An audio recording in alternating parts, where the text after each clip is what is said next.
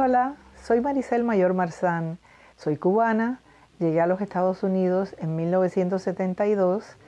soy escritora, profesora y directora de la revista literaria Baquiana. Desde que llegué a los Estados Unidos,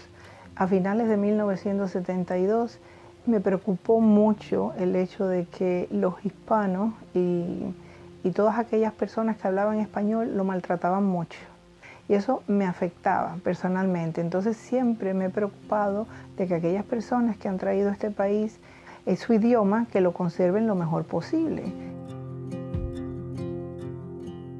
Ya para finales de los años 90 había aquí una especie de auge de editoriales norteamericanas que empezaron a sacar sellos en español y muchas editoriales españolas empezaron a tomar como sede la ciudad de Miami. Muchas veces no se consideraban a los escritores que vivíamos en los Estados Unidos para participar en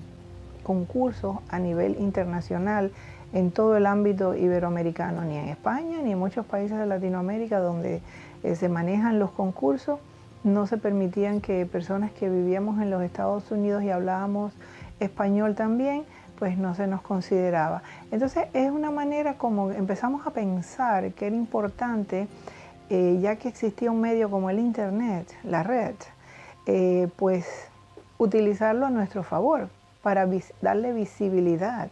a aquellos escritores que en esta nación hablan y escriben en español y que se conozcan en otras latitudes. Lo hice por mi comunidad, lo hice por los hispanos en este país, lo hice por todos esos escritores que andaban deambulando y que en definitiva les era muy difícil darse a conocer. Y es importante que en el resto de Hispanoamérica no nos dejen huérfanos, que sepan que nosotros también somos parte de ese entramado cultural.